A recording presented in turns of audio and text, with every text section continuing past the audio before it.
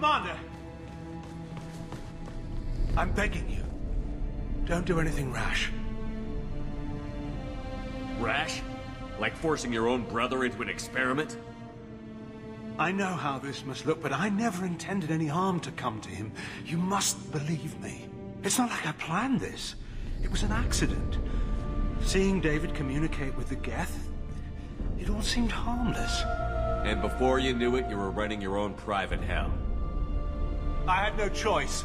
The demands were incredible. The Illusive Man doesn't broker failure. Any war we fight with the Geth will be bloody. I was asked to find a way to avoid that. And how many have already died for this project? More souls than will ever forgive me. But I won't apologize for radical ideas. If my work spares a million mothers mourning the loss of a million sons, my conscience will rest easy. Look at him. Your brother will never be the same. The damage may not be permanent. He might recover some semblance of his mind. Cerberus will never leave him alone. Your brother will always be a lab rat. You're a well cared for lab rat. At least he'd still be alive. So you'll sacrifice your brother's happiness for your own ambition.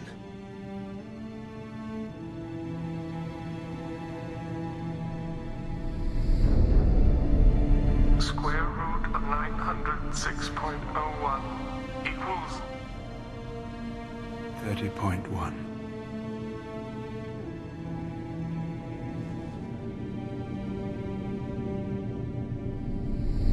What I've done to David is unethical. If he dies, it's unforgivable.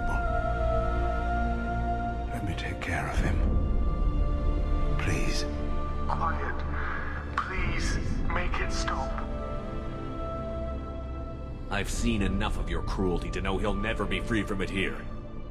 I'm taking him away. No, leave him! He's too valuable!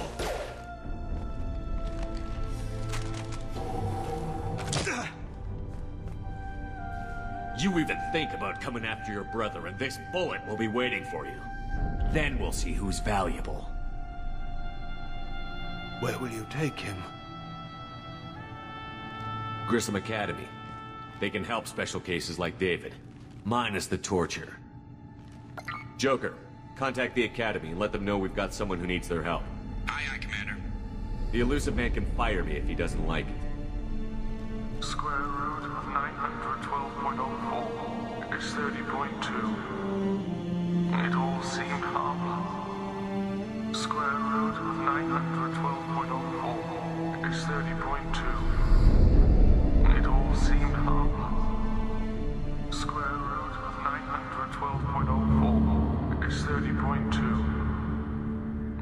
912.04